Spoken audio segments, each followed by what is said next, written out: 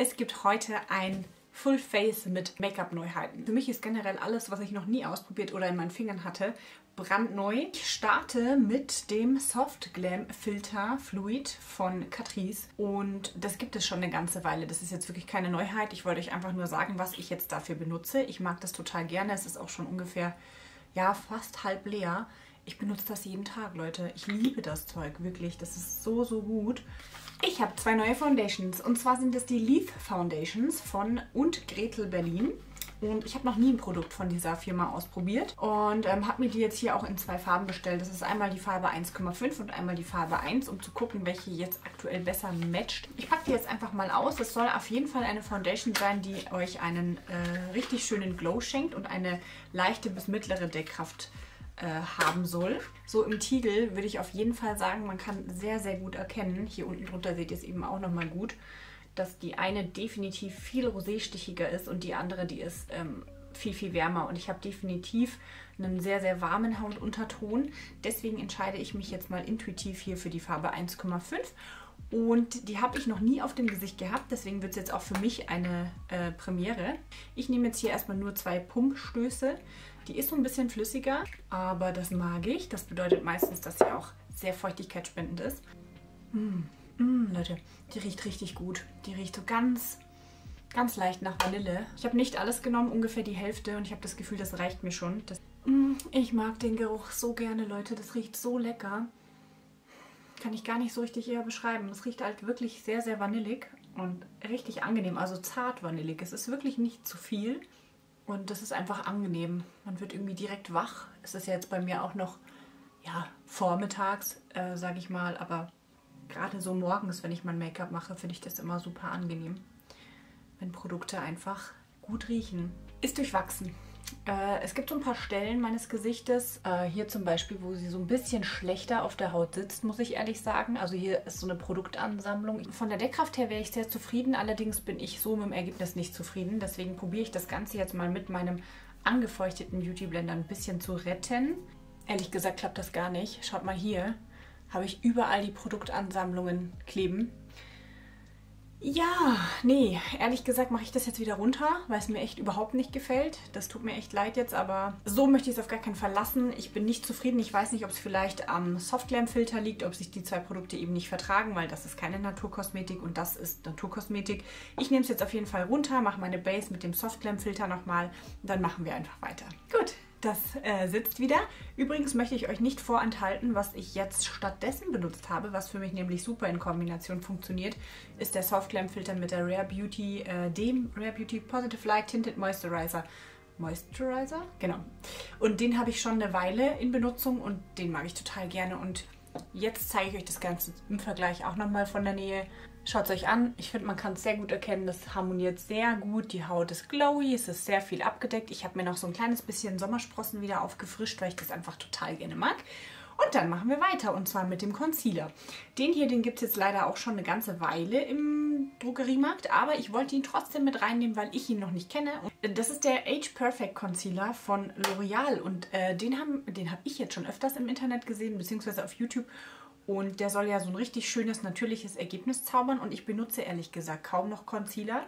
Ich persönlich, ihr müsst immer gucken, wo habt ihr eure Augenschatten. Benutze den wirklich nur, ich habe heute eigentlich fast gar keine Augenringe. Ich bin eigentlich total zufrieden, aber so ein kleines bisschen eine Schattierung kann man hier in dem Bereich bei mir immer gut erkennen. Und da trage ich einfach nur so ein ganz kleines bisschen Produkt auf. Und Leute, für mich die Concealer-Routine zu verändern, war für mich ein absoluter Gamechanger. Ich habe wirklich angefangen, ganz, ganz wenig nur noch zu benutzen und wirklich nur noch an dieser Stelle, weil ich habe meine Mimikfältchen so ein bisschen links und rechts vom Auge, hier unten drunter. Und dadurch, dass ich das so mache, habe ich wirklich gar kein Problem mehr, dass mir das irgendwo hinrutscht. Ich konzentriere mich beim Verteilen des Produktes nämlich wirklich auf die dunklen, oh, voll ins Auge, auf die dunklen ähm, Schatten, verteile mir das noch so ganz, ganz zart, also mit ganz wenig Druck sozusagen, hier am unteren Augenkranz, einfach weil ich da auch nochmal so ein bisschen einen Schatten habe und ähm, versuche aber ansonsten das Produkt wirklich hier ähm, im Schattierungsbereich zu verblenden und auch zu lassen. Und das reicht mir schon und ich finde, es macht einen riesen Unterschied ohne viel Produkt, das euch dann am Ende des Tages irgendwo hinrutschen kann. Und ich bin jetzt auch inzwischen 31 und da muss man einfach so ein bisschen aufpassen, dass man nicht zu viel benutzt, weil sonst ja, wandert es euch dahin, wo ihr es nicht haben wollt. Wenn das nicht frisch ausschaut, dann weiß ich es auch nicht. Guckt mal von der Nähe an das Ganze. Das ist wirklich mega cool. Das strahlt, die untere Augenpartie ist nicht mehr dunkel, es ist alles ausgeebnet, was man ausgeebnet haben will. Dann trage ich mir immer noch so ein bisschen meinen absoluten Favorite Concealer, den werdet ihr auch in meinen Jahresfavoriten im nächsten Video dann sozusagen vorgestellt bekommen. Der NARS Radiant Creamy Concealer, nee Quatsch, das ist gar nicht, nee, Entschuldigung, der NARS Soft Milk Concealer. Den trage ich mir hier oben auf, weil ich neige zu öligen Augenlidern und ähm, wenn ich nicht will, dass mir meine Mascara im Laufe des Tages überall abstempelt, dann ist das tatsächlich meine Geheimwaffe, denn der ist eben matt. Ne? Wenn übrigens irgendjemand von euch da draußen einen Tipp hat, wie man Pickelmale schnell los wird, bitte schreibt es mir an dieser Stelle in die Kommentare. Ich habe noch nichts gefunden. Ich probiere selbstverständlich Serien aus ähm, in meiner Abschmink- und ähm, Morgenroutine ähm, die auch gegen Pickelmale helfen sollen, aber bisher war keins dabei. Wenn ihr irgendwas als Geheimtipp habt und mir einen Tipp geben könnt, dann gerne, gerne. Als nächsten Schritt habe ich hier ein Puder neu. Und zwar ist das eins von Physicians Formula, das Butter Glow Pressed Powder in der Farbe Translucent Glow. Und ich sage euch, ich habe das jetzt schon eine Weile in Gebrauch. Ähm, ich finde nämlich, klar sind das jetzt Neuheiten, ne? aber ähm, ich probiere die trotzdem gerne ein paar Tage, bevor ich mich hinsetze und für euch Videos drehe, aus, einfach damit ich euch ein bisschen mehr dazu sagen kann. Im ersten Moment, bin ich ehrlich mit euch, äh, war ich skeptisch, was das Produkt betrifft, weil es so eine obere Schicht hatte, die tatsächlich ein bisschen mit Glitzer versehen war und ich dachte, nee, ich werde mir ganz bestimmt nicht mein ganzes Gesicht setten mit einem glitzerigen Puder. Was ich allerdings total mag, ist, wenn es settet, also quasi euer Make-up ähm, an Ort und Stelle hält, aber noch so einen leichten Glow-Effekt hat, um quasi nicht so tot mattiert zu wirken. Und das tut dieses Puder sowas von gut. Ich liebe es und ich werde es euch auch noch gleich in im, in einen Vergleich stellen mit dem Catrice Puder, das ja so durch die Decke ging und jetzt auch aktuell sehr gehypt ist. Seht ihr das? Das sieht so schön aus. Man könnte es theoretisch auch als Highlighter verwenden, aber ich finde, dafür ist es mir persönlich fast zu wenig. Aber möchte euch noch ganz kurz das äh, Soft Glam Puder, was ja gerade so durch die Decke geht, im Vergleich daneben swatchen und euch dann mal sagen, was mir da als Unterschied aufgefallen ist. Und ich finde, das könnt ihr jetzt an den Swatches auch wirklich sehr gut erkennen. Die Leuchtkraft der beiden Puder ist ziemlich identisch, wobei mir der hier so fast schon noch einen kleinen Ticken mehr Strahlkraft hat, der von Physicians Formula. Aber was mir total gut gefällt an dem Physicians Formula Puder, ist, dass das einfach ein bisschen hautfarbener ist. Es hat ein bisschen mehr Strahlkraft als das von Catrice, aber es ist definitiv äh, freundlicher, was meinen Hautunterton betrifft. Also ich finde, das hier ist manchmal wirklich wie wenn ihr so einen weißen Schien über euer Gesicht packt, was mir gar nicht gefällt. Das ist einfach gar nicht mein Ding. Ja, für die untere Augenpartie, äh, um so ein bisschen zu setten, finde ich es ganz gut, aber ich finde das hier tatsächlich besser. Ich werde das jetzt auch mal so machen. Ich werde das auf mein ganzes Gesicht auftragen und das hier einfach nur mit einem dünneren, also dünneren, kleineren Pinsel auf die untere Augenpartie hauen, um so ein kleines bisschen Strahlkraft zu erzeugen. Dafür benutze ich das hier sehr, sehr gerne. Ich nehme dafür übrigens hier meinen Maxim Giacomo äh, Catrice LE Pinsel. Den benutze ich total gerne. Okay, ich glaube, man kann es echt gut erkennen, ehrlich gesagt. Ich hoffe es. es. Es gefällt mir so gut, Leute. Also dieses Puder, und ich habe es auch echt schon mit vielen Foundations in Kombination ausprobiert. Auch zum Beispiel mit meiner Nabla Skin Realist Foundation, die ich total gerne trage. Auch einfach nur mit dem Soft Glam Filter, den ich ja eben jeden Tag auftrage. Und es funktioniert für mich wirklich immer. Ist ein hammergeiles Produkt. Ich kann euch nur empfehlen, wenn ihr das nächste Mal, ich glaube im Rossmann gibt es das im, im Standardsortiment Physicians Formula. Weil wenn ihr das nächstes Mal seht oder irgendwie die Chance habt, schaut es euch auf jeden Fall an. Es ist nicht ganz günstig, aber es ist wirklich, wirklich gut, wenn man eben sich nicht tot mattieren möchte. Ich finde, die Haut sieht aus wie Haut für mich aussehen sollte. Wenn man es nicht wüsste, meine Meinung, dann sieht man nicht, dass ich was trage und die Haut sieht super schön ausgeebnet aus. Ne? Das andere von Catrice habe ich, wie gesagt, ganz leicht unter das Auge gegeben, aber da muss man aufpassen, dass man nicht zu viel nimmt, weil sonst, ähm, ja, das einfach so ein bisschen tot aussehen kann. Ah ja, noch ein wichtiger Punkt, denn jetzt kommen wir gleich noch zu Cremeprodukten. Ihr könnt übrigens über das Puder auch äh, Cremeprodukte aller Art auftragen, ohne dass das irgendwie sich nicht verträgt und das finde ich auch mega cool, denn äh, wir kommen jetzt weiter zu einem Produkt, das ich auch das gibt es jetzt schon ein Weilchen, nicht allzu lange, aber das habe ich jetzt noch nicht sehr lange zu Hause. Und zwar, aber es sieht ehrlich gesagt schon so aus, als hätte ich es schon länger, weil ich es echt gerne benutze. Das ist von Kess, der Blush- und Highlighter-Stick. Moment, wo steht denn hier die Farbe? In der Farbe Bronze, genau. Und es ist ein Highlighter, der so, so, so, so schön ist und ein Rouge, der ebenfalls so, so, so, so schön ist. Und zwar, ähm, ich swatch die euch jetzt hier auch nochmal auf der Hand. Der Blush hat so ein richtig, ja, wie soll ich das beschreiben? Backsteinfarben und der gibt der Haut ein so, so gesundes Aussehen und sieht auch sehr, sehr natürlich aus. Und der Highlighter, guckt es euch an, ist wirklich auch der absolute Hammer, weil es eben so ein bisschen sommerhafter ist, so ein bisschen mehr bronzy. Und was ich total gerne mache, ich habe es ja jetzt eh hier auf der Hand, ich verteile mir das auf dem Handrücken, mische diese zwei Komponente, guckt euch das mal an, was da entsteht. Nehme mir den Pinsel, ich werde noch ein bisschen Blush ergänzen, Moment, schaut, so schaut es jetzt aus. Nehme mir den Pinsel, gehe da rein und trage mir das dann hier auf meine Wange auf. Ihr könnt jederzeit nachnehmen, wenn ihr noch mehr haben wollt. Das ist ja alles gar kein Thema. Und guck mal, wie schön und einfach das ging. Einfach aufgestippelt, wie ich immer so schön sage.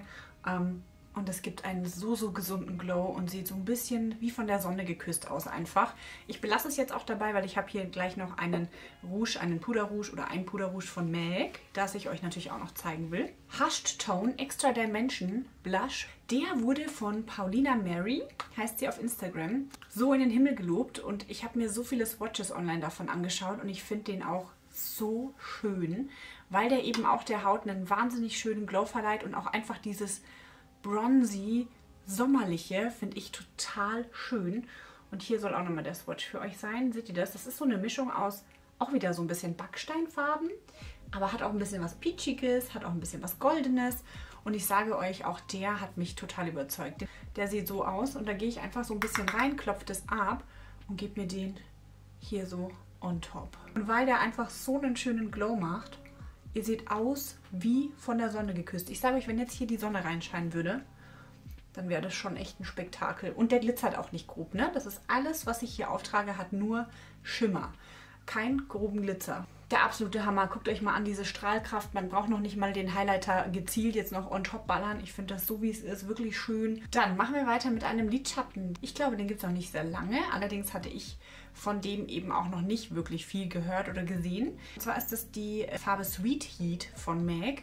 Und ich sage euch, einer der schönsten Monolidschatten, die ich jemals in den Händen hatte. Und die Reflexion, ihr könnt es ja hier schon erkennen, ist wirklich der Hammer. Was ich an dem super schön finde, ihr könnt den aufbauen. Ihr könnt den stärker tragen, ihr könnt den weniger stark tragen. Der ist unglaublich cremig und es ist so ein schöner Farbton für einfach einen One-and-Done Shadow Look. Also quasi Pinsel oder Finger auftragen, fertig, ihr seid ready to go und es sieht aus, als hättet ihr richtig viel Mühe in euren Lidschatten gesteckt. Schaut euch mal die Farbe an. Das ist der absolute Hammer. Das ist wunderschön, finde ich, auch der Farbton, eben weil er genau die Mitte ist. Nicht zu warm und nicht zu kühl für sämtliche Augenfarben, für Brauntöne, für Grüntöne, für Blautöne. Es ist wirklich so ein Ton, finde ich, der wirklich jeder Augenfarbe steht. Und deswegen liebe ich den. Ich habe ihn noch nicht so lange, ich glaube zwei Wochen und ihr seht, er ist schon gut benutzt, weil ich ihn wirklich gerne für den Alltag verwende, weil es eben so schnell geht. Und das machen wir jetzt heute auch so. Ich trage jetzt ganz einfach nur meinen Bronzer, ist egal welchen ihr nehmt, ich nehme jetzt hier den von Nabla, mit einem Blendepinsel einfach so ein kleines bisschen in der Crease auf und da müsst ihr euch noch nicht mal viel Mühe mitgeben und so ein bisschen noch am unteren Augenkranz. Ihr seht, ich mache es wirklich geschlampert und schnell. Und dann gehe ich hier mit dem Finger rein, trage mir den hier auf, verblende den noch ein kleines bisschen. Fertig.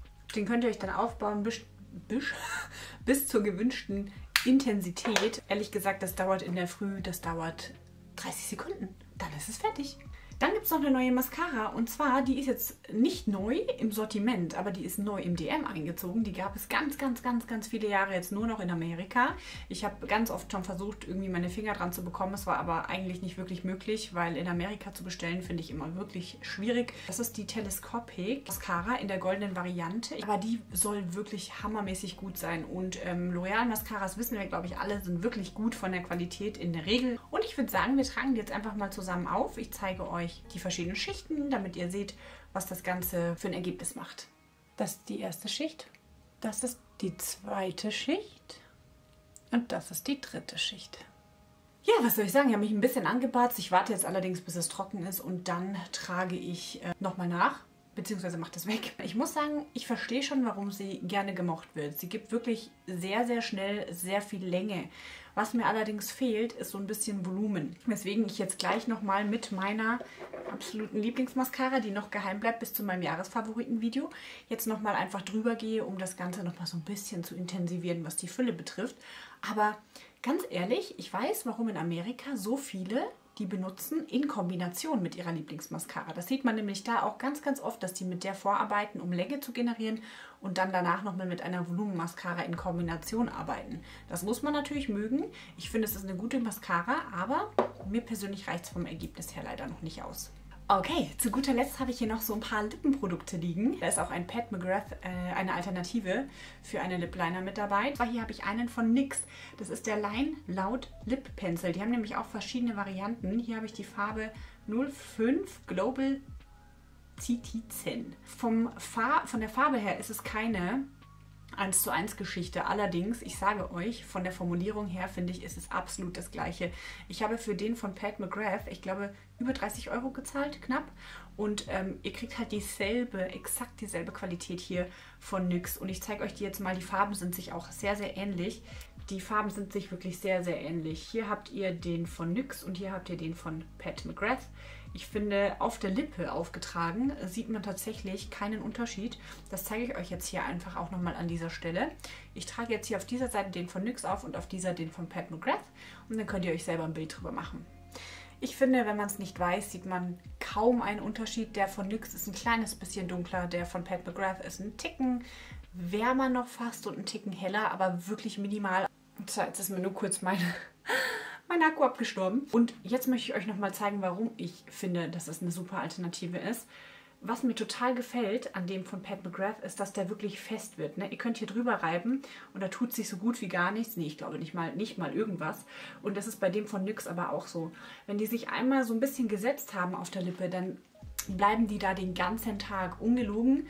Ihr macht den morgens drauf und der ist nachmittags immer noch da. Und das finde ich extrem gut und extrem hilfreich auch. Deswegen finde ich, das ist wirklich eine ganz, ganz tolle Alternative, die ihr euch mal angucken könnt, wenn ihr noch auf der Suche nach einem äh, guten Lip Liner mit einem guten Preis-Leistungs-Verhältnis seid. Ich habe hier tatsächlich jetzt auch noch äh, ein paar Produkte liegen. Ich kann allerdings und will auch gar nicht alle mit ins Video reinnehmen. Ich will euch auch nicht überfordern. Ähm, aber ich möchte euch auf jeden Fall hier noch zwei von Essence zeigen und eins von L'Oreal. Ähm, die von Essence, die trage ich jetzt einfach mal oben drüber auf, einfach weil ich ähm, finde, dass die so super sind. Und zwar rede ich hier von den Tinted Kiss äh, Hydrating Lip Tints von Essence und ich habe hier zwei verschiedene Farben. Ich werde mir die anderen Farben auch noch anschauen. Ich finde die unglaublich gut, Leute, weil die wirklich super angenehm auf der Lippe sind und euch fast den ganzen Tag einen Stain hinterlassen, der nicht zu doll ist. Ne? Also es ist nicht so ein pH-Reacting-Ding, sondern wirklich so ein Richtig schöner Stain. Und ich habe hier am aller, allerliebsten für den Alltag die Farbe 03 Coral Colada. Was das mit Coral zu tun hat, finde ich äh, fragwürdig. Aber ähm, für mich ist es eher so ein Roséton. Aber der ist wirklich richtig schön. Hat eher so eine leicht musige, wässrige Konsistenz. Also sehr, sehr interessant. Ähm, braucht so zwei Minuten, um sich zu setzen. Aber dann hält der den ganzen Tag. Und ist vor allen Dingen angenehm auf den Lippen. Also ihr spürt den eigentlich gar nicht mehr. Wenn der mal sich gesetzt hat, dann spürt man den tatsächlich gar nicht mehr. Richtig krasses Produkt für das Geld solltet ihr euch die auf jeden Fall mal angucken. Und ich hatte irgendwann mal in einem Aufgebraucht-Video euch dieses Produkt gezeigt. Ähm, es nicht mehr nachgekauft, weil mir die Farbe jetzt nicht 100% zugesagt hatte. Allerdings reden wir hier vom Coloriche Glow Paradise Lippenstift von L'Oreal. Und zwar habe ich hier die Farbe 112 und das soll eine Alternative sein zu einem Yves Saint Laurent Lippenstift ähm, in der Farbe 44 Laverili oder Laveli oder irgendwie sowas. Kann ich nicht zu sagen, ich habe das Original nicht hier, aber ich finde, das ist eine wunderschöne Farbe. Das ist so ein bisschen so eine Mischung aus Rosenholz und Rosa. Und was ich an dem mag, den könnt ihr ohne Spiegel auftragen. Der ist, hat eine ganz leichte, zarte Deckkraft, gibt euch so ein bisschen so ein Gloss-Look, aber ohne zu viel zu sein. Ist ja gerade auch eh mega modern. So ein bisschen Glossy Lips mit einem Lippenstift, wisst ihr, was ich meine? Hat auch einen eher zarten, finde ich, eher angenehmen Geruch. Also ist wirklich eine ganz, ganz tolle Farbe für den Alltag, wie ich finde. Gut, Leute, das war's. Ich hoffe, es hat euch Spaß gemacht und ich hoffe, ich konnte euch so ein bisschen in die Welt der neuen Produkte mitnehmen. Wenn euch das Video gefallen hat, ihr würdet mich super unterstützen, wenn ihr mir an dieser Stelle ein Däumchen nach oben da lasst. Da freue ich mich sehr und es dauert nicht lang. Und an dieser Stelle wünsche ich euch ähm, einen guten Rutsch ins neue Jahr. kommt gut rüber. Ich hoffe, das nächste Jahr wird besser als das alte. Für jeden Menschen da draußen, für alle euch, die mir gerade zuschauen. Ich wünsche euch nur das Beste von Herzen. Fühlt euch gedrückt und bis zum nächsten Mal. Ciao!